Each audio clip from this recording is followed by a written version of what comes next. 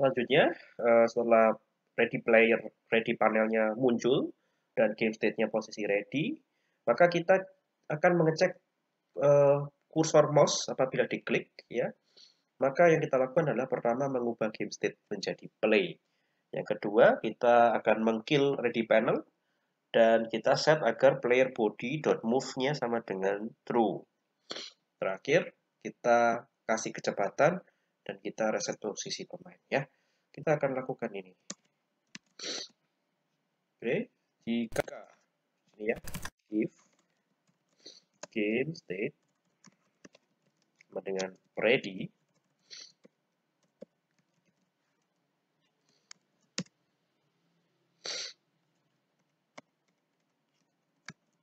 Oke, okay, dan dan dan dan si ready panelnya udah alive. Eh sorry, bukan ready panel sudah alive, tapi kursornya mouse kita kita klik gitu ya. Kita klik game input active pointer is down. Game dot input dot active pointer is down.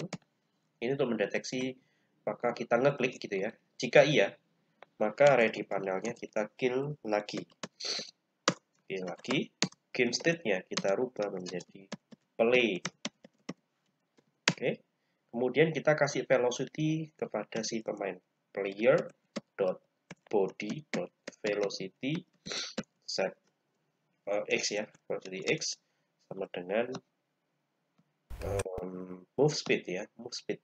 Saya belum punya variable move speed. Nah saya cek dulu. Move speednya adalah 200 oke kita scroll ke atas kita tambahkan move speed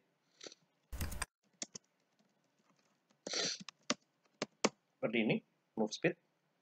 Di sini saya akan tambahkan move speed ya. Kemudian kita akan reset posisi Flappy Bird-nya. Kita reset ke tengah-tengah ya balik ke awal. Layer reset h per 2,100 balik ke awal sekali oke? okay? kenapa ini penting? Karena kalau sudah sampai n kita harus balikkan posisi flag nya ke awal. Oke kita sentuh layar untuk memulai. Nah. Oke dia jatuh lagi nih. Nah itu ya. Nah selanjutnya adalah kita mau mendeteksi apabila game state-nya sedang play. Pada saat game state-nya play, maka kita akan memfokuskan kamera ke pemain, ke pemain persis, atau di depan pemain persis, lalu kita akan men-setting animasi gerakan parallax. Dan apakah Flappy Bird-nya menabrak koin, ya saya lupa menambahkan poin, ya nanti kita akan nambahkan koinnya. Dan kalau kita klik mouse, maka kita akan nambahkan kecepatan velocity ke atas. Oke, jika pemain mendekati goal, stop pemain, ubah game state-nya menjadi end. Seperti itu, simpel ya. Oke, di sini kita tambahkan if game state sama dengan play. Oke, nah setelah game state-nya kita tambahkan play. Uh,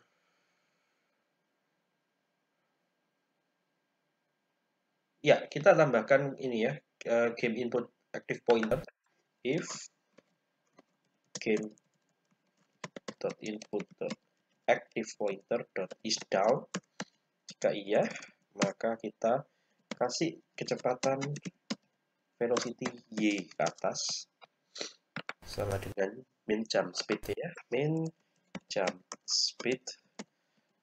Oke kita lihat dulu jump speednya 200 juga. Oke ke atas. Seperti ini ya kita coba lagi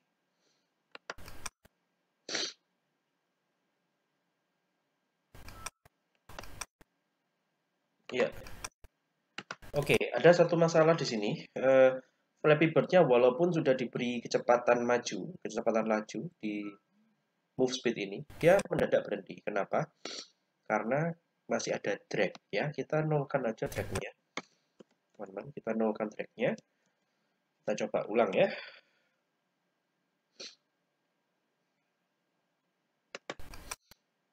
Ya nah, burungnya melaju ke depan. Permasalahannya adalah kameranya tidak bergerak ya. Kameranya harus kita gerakan mengejar si uh, burung ya, posisi burung.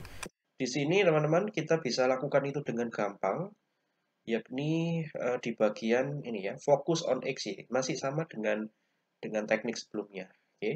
Game.camera fokus on XY. Jadi di play, bagian play. Game.camera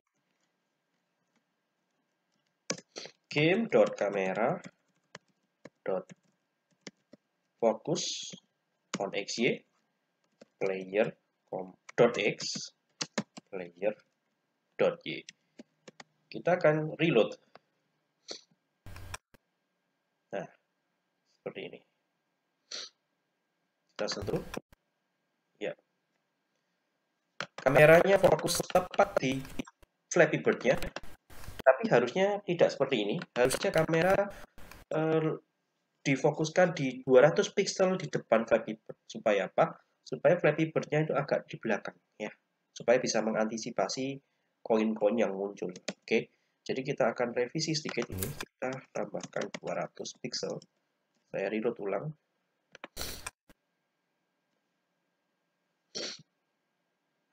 Satu. Ya, agak lumayan di belakang ya. Nah, itu agak lumayan di belakang. Uh,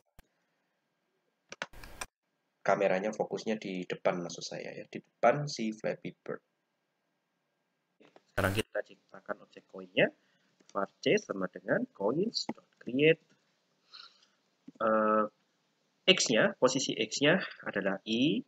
Kita kalikan dengan 800 sedangkan posisi y-nya kita akan random menggunakan fungsinya phaser integer uh, sebentar saya lupa fungsinya in range ya. Integer in range. Mulai dari 0 sampai setinggi permainan dikurangi 96 oke. Okay.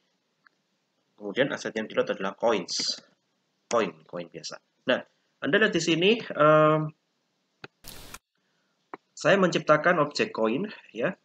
I dikali 800 maka koin yang diciptakan akan memiliki koordinat sebanyak atau sejumlah i kali 800 dengan koordinat y-nya di random mulai dari 0 hingga setinggi h hanya itu adalah tinggi browser Anda dikurangi 96 96 ini adalah tinggi dari ground. Jadi saya nggak kepingin koinnya itu randoman koinnya itu berada di dalam ground ya jadi kita kurangi dengan 96 ini aset yang di load simpan mari kita uh, reload sekarang apakah koinnya sudah berada di tempat yang pas Ya, um, ada masalah di sini teman-teman. Koinnya turun ke bawah karena terpengaruh gravitasi.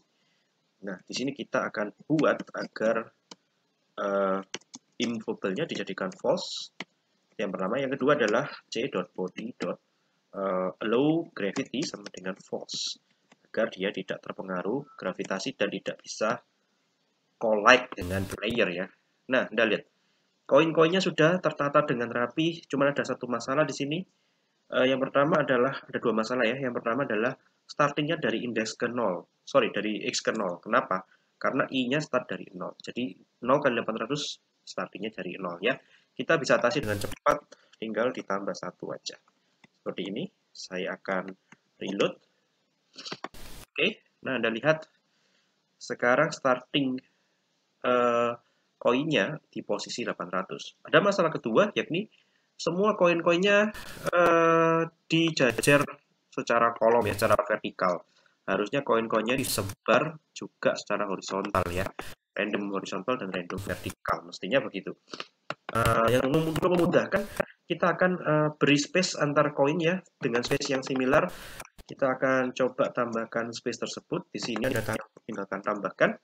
Nah, untuk mengidentifikasi masing-masing koin, Anda bisa tambahkan J di sini dan kalikan dengan suatu angka. Misalkan saya kali 45 ya. J ini akan jalan dari 0 sampai 5 ya. Kita akan simpan, kita akan reload.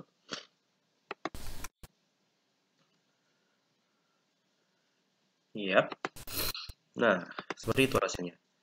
Oke. Mungkin jaraknya kurang jauh. Saya ganti jadi 50. Oke, itulah uh, koin kita. Uh, kita akan membuat program apabila Flappy Bird-nya menabrak koin, maka koinnya akan kita kill, ya kita hancurkan, kita hilangkan. Oleh karena itu kita perlu menambahkan fisik active overlap, bukan collect tetapi overlap pada bagian state play ya, game state play. Jadi ada tiga game state, game state ready itu untuk pertama kali sebelum permainan dimulai. Game state play itu pada saat permainan berlangsung gitu ya. Sedangkan game state end pada saat game berakhir. Nah, di sini teman-teman kita akan tambahkan pengecekan if uh, physics.game.arcade.overlap ya. Overlap siapa dengan siapa? Sorry, ini bukan if ya, teman-teman. Ini sebuah statement saja. Oke, di sini overlap antara player dengan coins, group coins. Jika demikian, emang terjadi overlap, maka kita akan destroy coins, kita akan kill koinnya. Langsung aja kita buat fungsi destroy coinnya di sini. Function uh, destroy coins. Dan Anda lihat parameternya ada dua. Parameter pertama adalah player. Oke, kita sebut aja var player di sini. Oke, tidak perlu var ya. Player dan coins si group. Oke, nah yang kita lakukan adalah uh, mendestroy sorry, ini bukan coins ya, ini koin biasa. Karena apa? Ketika kita overlap antara player dengan, walaupun player dengan grup coin, tetapi overlapnya ketika memanggil fungsi destroy coin, yang yang terlibat ya, yang terlibat di dalam fungsi destroy coin adalah si player dengan koin individunya, per koin individunya ya. Jadi pengecekannya untuk destroy coin ini bukan grup melainkan koin per individunya. Dan dengan demikian anda bisa saja memanggil seperti ini. coin.kill ya. Oke, langsung saja kita coba. Saya reload. Oke, sekarang misi saya adalah mencoba menabrak ke koin ya. Kita akan Ups, bentar ya, saya cek dulu. Oke, ada yang salah ini. Uh, physics is not defined. Oh, sorry, sorry. Oke, sebentar. Ini ada yang keliru. Oke, kembali ya. Ini bukan game.physics. Yep, game.physics.arcade. Nah, simpan. Oke, reload sekali lagi. Oke. Nah, kembali lagi saya tekankan misi saya adalah menabrak koin. Ya, berhasil. Supaya bagus sepertinya si Flappy Bird anchor-nya harus di set 0,5 teman-teman. Ya si Flappy Bird anchornya di set 0,5 si koin juga kita set 0,5 apakah sudah? Kita lakukan. Mari kita lihat player anchornya sudah di set tapi koinnya belum di set oke kita akan set di sini c.anchor.set to 0,5 0,5 oke.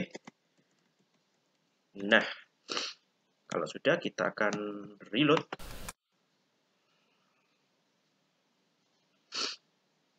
Oke, kita akan coba tambahkan. Yep,